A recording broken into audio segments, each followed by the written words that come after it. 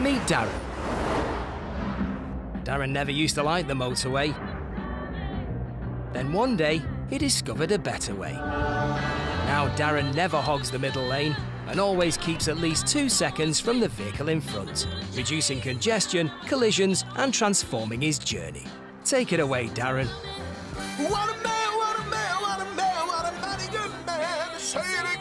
Little changes change everything. National Highways.